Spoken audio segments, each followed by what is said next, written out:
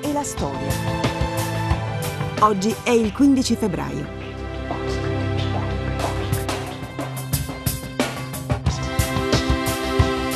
«1944. I bombardieri alleati distruggono Monte Cassino». 1898.